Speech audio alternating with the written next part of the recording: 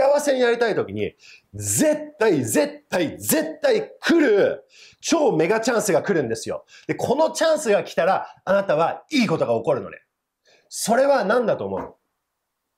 私にはいいこと起こらないって思う時期が来るの。俺は幸せになれないんだ。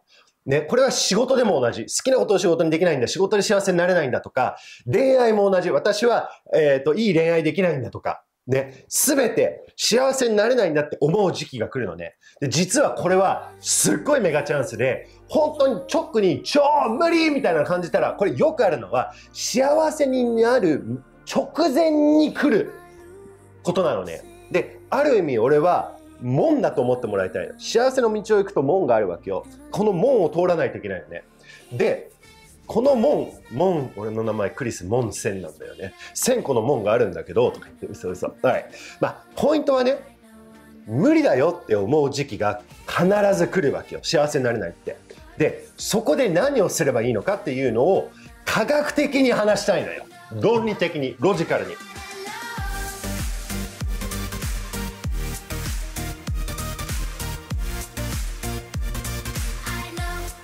Hey guys, thank you so much for checking out Chris's room. クリスの部屋を見てくれて本当にありがとう。でね、今日のビデオはですね、現実、現実を変えていくには何をすればいいのかっていうところなんだけど、ちょっとさ、幸せになりたい人いないかな？俺マジ幸せになりたいぜ。で、毎日もっともっともっともっと幸せになって、で、本当に世界が幸せになる。この星が幸せになることを心から祈ってるんだよね。で、やっぱり他の人を幸せにする、地球を幸せにする、自分の活動によって、ね、本当にこの世を去る前に地球がもっと良くなるっていう生き方、それを選んでやっていくっていうのは、やっぱり自分を幸せにしないといけないよね。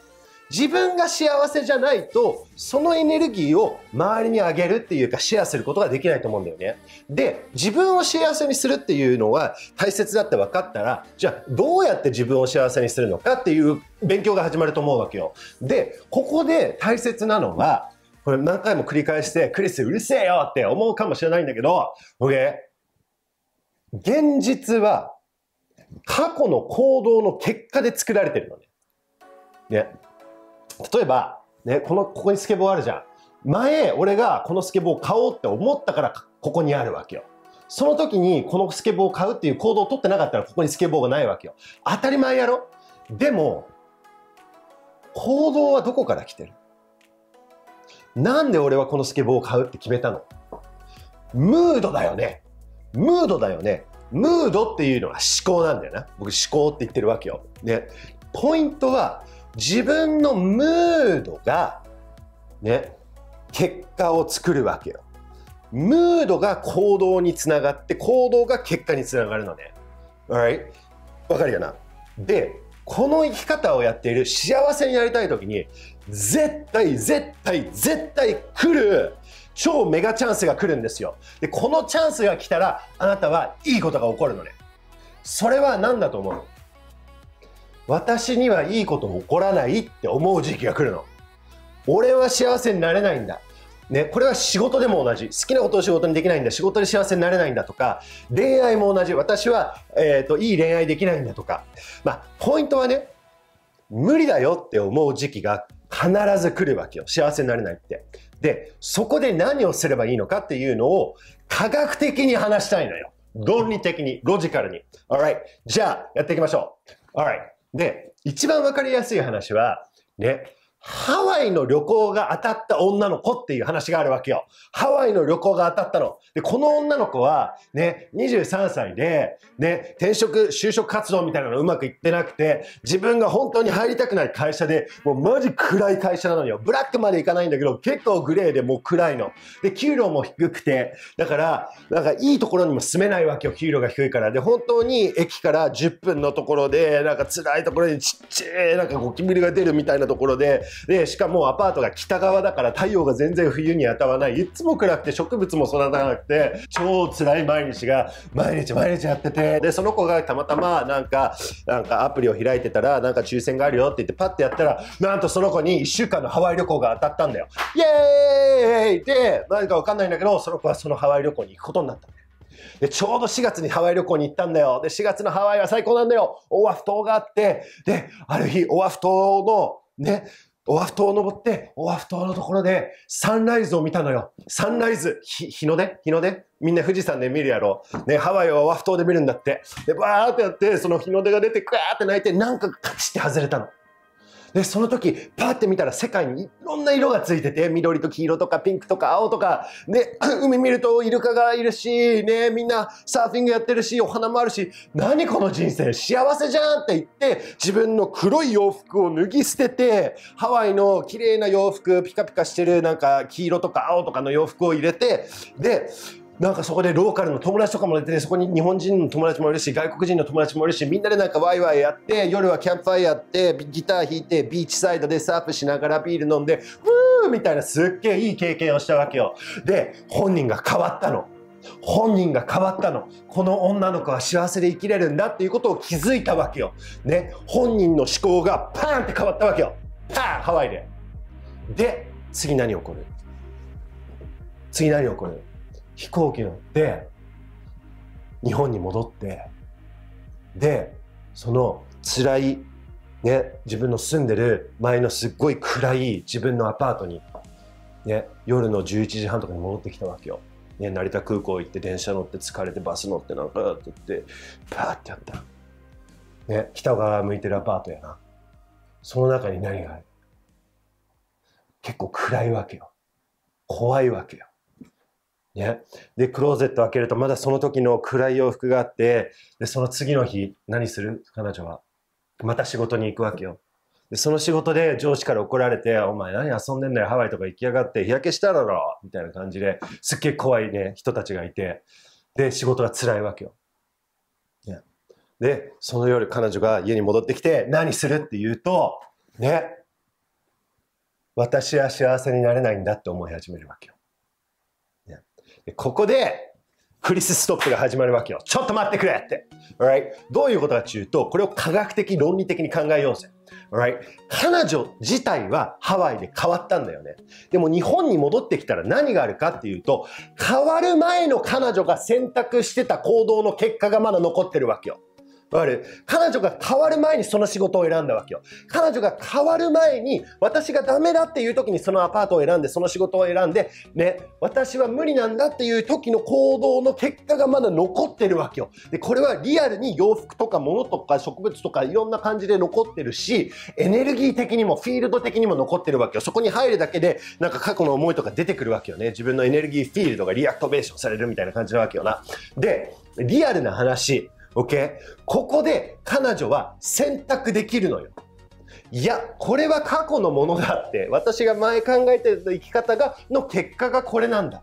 でも私は変わったのって言って。で、思考をポジティブのままでキープして、他のところに行って洋服買ったり植物入れたり引っ越ししたり、ね、転職したりすることができるわけよ。そうすると彼女のはハワイの代わりのまま進むことができるわけよな。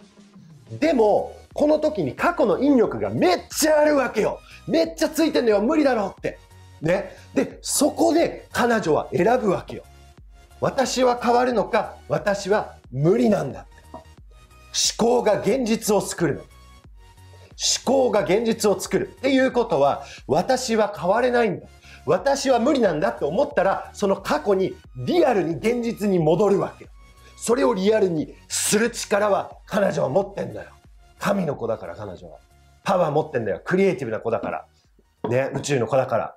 でも、宇宙の子はそれを選ばないで、ね、違うこと？今、シフト、これ次元上昇っていうのね。ペラレルワールドのシフトっていうわけよ。アルカミーなんだけど、ね、シフトすることができるわけよ。ハワイの方向に。すると彼女の現実が変わるの。思考によって現実が作られてる。ポイント1ね。思考によって現実が作られてる。ポイント2。思考をポジティブにすると、現実が変わるまでには時間がかかるの。わかる？ハワイから戻ってきて部屋暗いんだよ。その部屋から移動するって4ヶ月かかるかもしれないわけよ。部屋の中に植物入れるって2日かかるかもしれないわけよ。転職するって3ヶ月かかるかもしれないわけよ。わかる？その間あなたのマインドをどうキープするかっていうのがこのビデオのポイントなのね。ね、このマインドをキープできなくてやった無理だって思った瞬間に過去にはめっちゃ引力があるわけよ。あなたを引き寄せようとするわけよ。うわーって、ね、悪い方向に。そうならないように。ね。それが今日のビデオのポイントです。Alright なのでマジ。ね。もう無理だって思ってる時は実はこの子がねハワイから戻って私はもう無理だやっぱり幸せになれないんだって思う時これ必ずあるわけよ。これは必ず来るの。辛い人生が過去だったら未来にシフトする時に無理だって思うの引力がついてるのそれが普通なのだから出てきたらそれがリアルだっていうことを理解してもらいたいのね。この私には無理だっていうのはその過去の引力の話なのよ。これサイエンス論理で考えてみたいの。見て。自分がハワイ行って変わったらまだ日本の過去のものが戻ってるのは当たり前やろ。でそこで私は無理だって思わないで。いやもう本人が変わったんだから。これをリアリティシフトなの。幸せになりたいんだったらあなたはリアリティシフトのマスターになっていくの。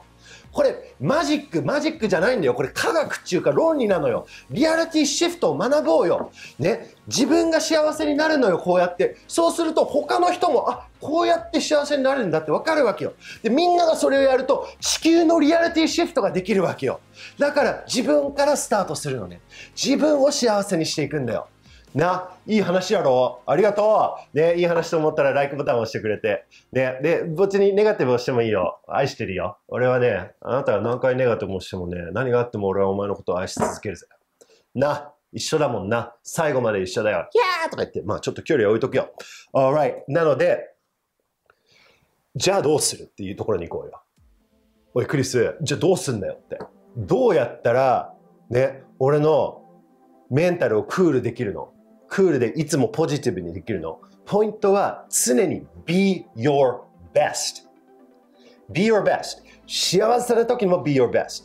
辛い時も be your best。When you're being your best, you're gonna choose the best possible option. Right? ベストなところにマインドがあると、絶対ベストな行動につながるわけよ。ベストな行動が一番早く現実を変えるのね。悪い考えがあると悪い方向の行動を取るわけよ。悪い行動の結果は悪い結果なのよ。またやらないといけないわけよ。で特に辛い時こそベストな自分になれるチャンスなんだよ。だから辛いのが来たらこれご褒美だって思って。マジ、マインド変えて。ここれ辛いのがあるから良くなれるんだよ。辛いのがないと良くなれないんだよ。論理これ科学っていうかサイエンスやろ？辛いのがあってその時に自分のベストでいることによって自分の結果を変えることができるわけよ行動によって。辛いのがないといい世界作られないんだよ。辛いところに行ってその経験をしてるから他の辛い人がいたら大丈夫。俺もやってたんだって言えるわけよ。なだからリアリティをシフトする。リアリティをシフトする。リアリティをシフトするには思考があって現実にはラグがある。どんなに辛くても笑顔でいいな。笑顔でいようぜ。な、一人じゃないから。他にも辛い経験してる人いっぱいいるから。Alright, I love you guys! 本当に最後まで見てくれてありがとう超嬉しいよ。本当に。Alright, you guys, I love you guys so much. Now see you in the next video. ありがとう